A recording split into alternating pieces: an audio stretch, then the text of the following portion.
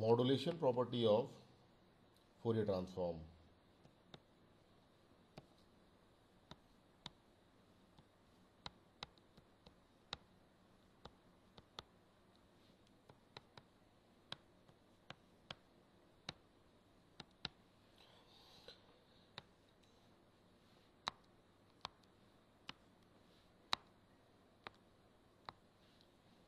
The Fourier transform of xt is x omega and Fourier transform of yt is y omega. Then we will find out the Fourier transform of product of xt and yt. Fourier transform of xt and product of xt and yt is integration of xt into it e to the power minus j omega t from minus infinity to plus infinity. Now we know that inverse Fourier transform of x omega is xt which is 1 upon 2 pi integration of x omega e to the power j omega t from minus infinity to plus infinity. Now the Fourier transform of product of xt and yt is to write this expression I will substitute xt by this expression. So the Fourier transform of a product of xt and yt is now integration of 1 upon 2 pi then integration x lambda e to the power j lambda t d lambda yt e to the power minus j omega t.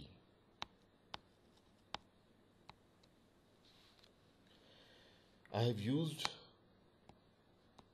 lambda here in place of omega which is just change in variable. Now I will change the order of integration. 1 upon 2 pi is constant so this will come out now changing the order of integration first we will integrate with respect to t and then we integrate with respect to lambda. So x x of lambda then integration of yt e to the power minus j omega minus lambda t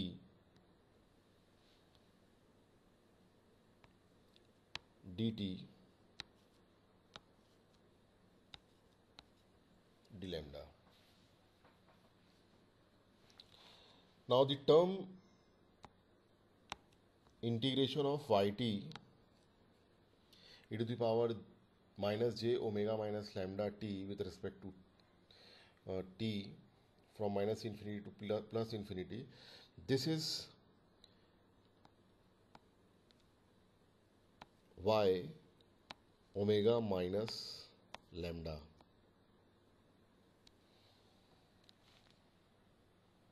Because y omega Fourier transform of it if I write the Fourier transform of it then it is integration of yt e to the power minus j omega t from minus infinity to plus infinity here we have omega minus lambda. That's why this is y omega minus lambda. So now the Fourier transform of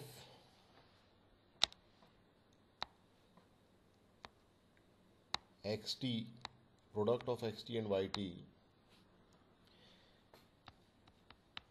Fourier transform of product of xt and yt is 1 upon 2 pi integration of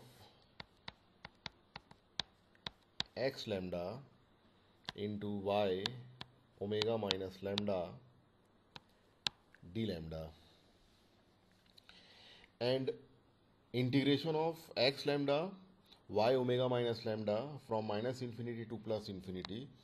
This is convolution of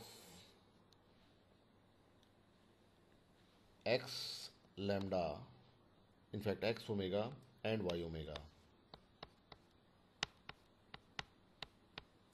x omega convolve with y omega. So Fourier transform of product of xt and yt is 1 upon 2 pi into convolution of x omega and y omega where x omega and y omega are the Fourier transforms of xt and yt respectively.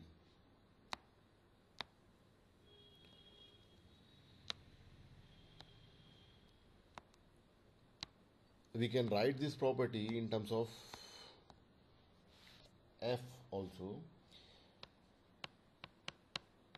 If Fourier transform of xt is xf and Fourier transform of yt is yf then the Fourier transform of product of xt and yt is simply xf convolved with yf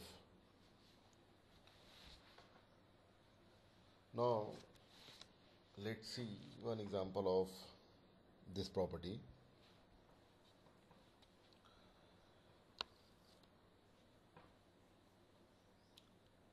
Fourier transform of cos 2 pi fmt is 1 upon 2 pi sorry uh, 1 by 2 del f minus fm plus 1 by 2 del f plus fm and Fourier transform of cos 2 pi fct is 1 by 2 del f minus fc plus 1 by 2 del f plus fc so product Fourier transform of product of cos 2 pi fmt and cos 2 pi fct is convolution of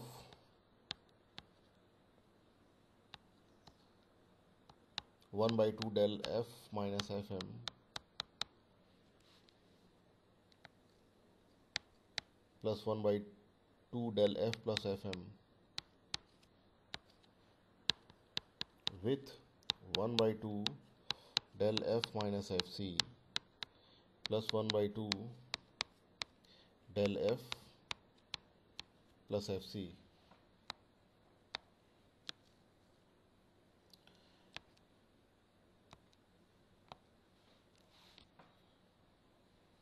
So Fourier transform of cos 2 pi fmt into cos 2 pi fct is now convolution of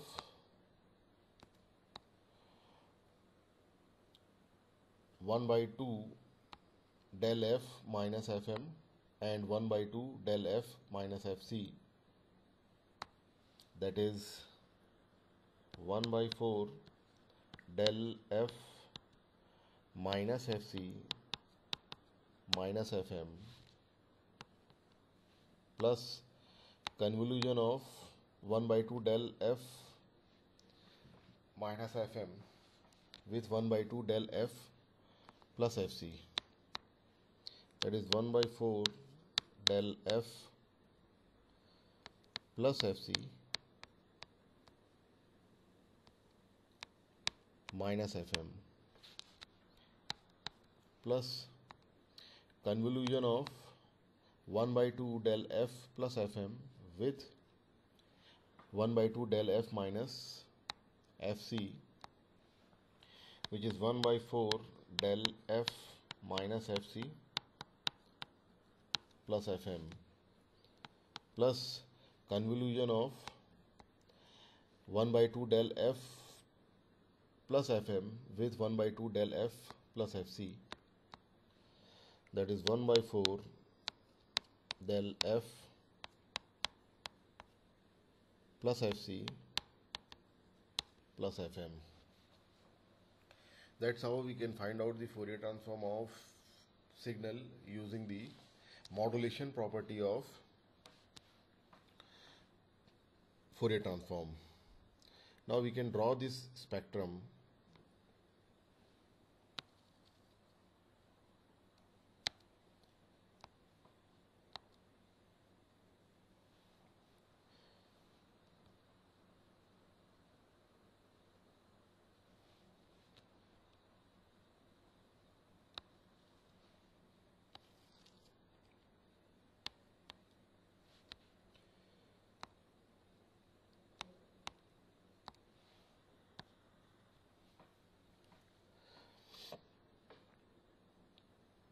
The spectrum has four impulses. Let us assume that Fc is greater than Fm. So we have four frequencies Fc plus Fm, then Fc minus Fm, minus Fc, minus Fc minus Fm, and minus Fc plus Fm.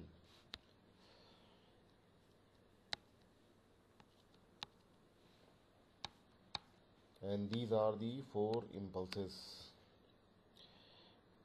1 by 4 del f minus fc plus fm. 1 by 4 del f minus fc minus fm. 1 by 4 del f plus fc minus fm